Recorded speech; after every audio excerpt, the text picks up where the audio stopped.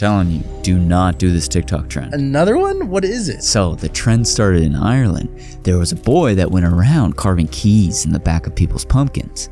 Then he would light the candle. Wait, why would he do that? They believed that on October 31st, evil spirits would return to Earth and try and get in your home. So people would take vegetables and carve faces in them. This would scare them away. But if they carved a key in it, it would do the opposite.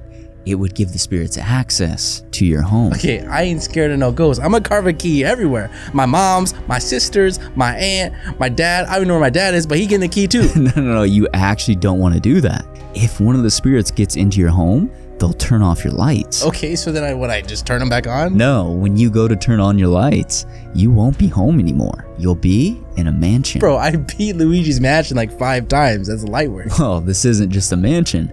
It's actually a maze where the walls are made of mirrors. But you'll have to escape before the candle burns out. Okay, so what happens when the candle goes out? Well, it's not good.